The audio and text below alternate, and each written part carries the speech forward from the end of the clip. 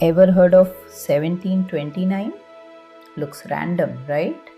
No, this number's legendary.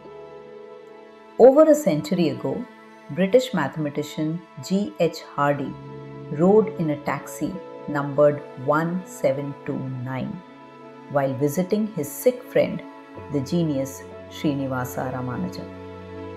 He told him, I just rode a taxi with the number 1729. What a dull number. Ramanujan smiled. No, Hardy, it's fascinating. It is the smallest number that's the sum of two cubes in two different ways 10 cubed plus 9 cubed, 12 cubed plus 1 cubed. Both give 1729. Hardy was stunned. Ramanujan didn't just calculate numbers, he felt them. That's why 1729 is called the Hardy Ramanujan number, a symbol of genius hidden in plain sight.